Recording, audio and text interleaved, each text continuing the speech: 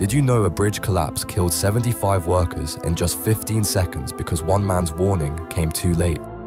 August 29, 1907, the Quebec Bridge stretched across the St. Lawrence River, nearly complete after years of construction. Theodore Cooper, the chief engineer, had been growing increasingly worried about strange sounds coming from the massive steel structure. Workers reported hearing loud creaking and groaning.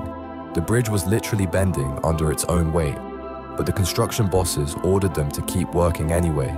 Cooper frantically sent telegrams warning of imminent collapse, but they arrived after closing time. At 5:30 p.m., the inevitable happened. The entire south span pancaked into the river in 15 seconds of pure terror. 75 men were crushed instantly by thousands of tons of twisted steel. Nine years later, they tried rebuilding it. The new bridge also collapsed during construction, killing 13 more workers. The Quebec Bridge remains history's deadliest bridge disaster. Two collapses, 88 lives lost, all preventable.